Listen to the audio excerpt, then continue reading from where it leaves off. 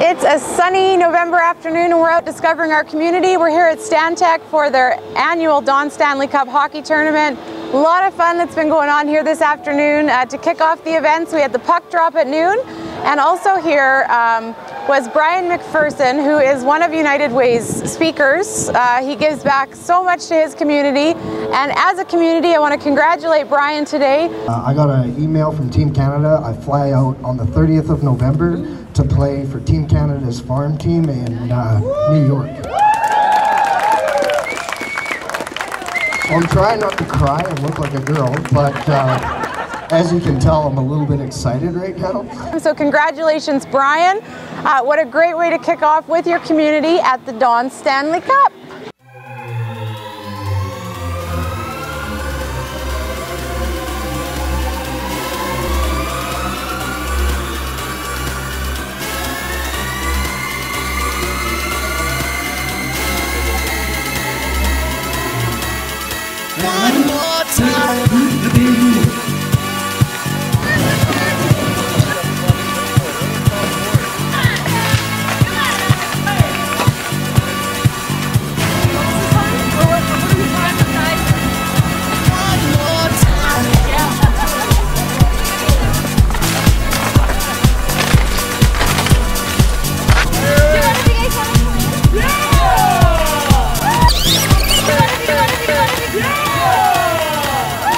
Guys hopeful you're going to get the cup this year? I wouldn't say hopeful. I'd say adamant would be a better determined.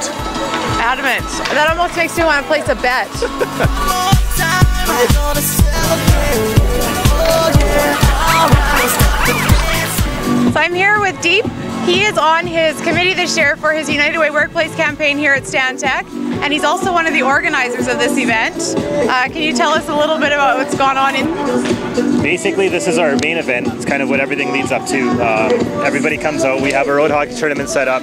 So all of the staff kind of get together. They put on some teams, and basically they make donations to enter the tournament, and everybody gets into a road hockey tournament. So we shut the street down. A lot of team building within the company, and a lot of awareness for United Way. We get so, a bunch of sponsors. We invite them out. Everybody comes down, and we kind of just have fun. It's like a fun day where we can all kind of give back a little bit, money-wise. We have a barbecue that raises money. We have the tournament, and then we have the socks here that basically are piled up over the last couple of weeks throughout our campaign. Anytime anybody makes a decision to donate or not to donate, one way or the other, we give them a pair of socks, and they can donate those socks to the United Way. And that way, even if they're not contributing, they still are, just by making a decision.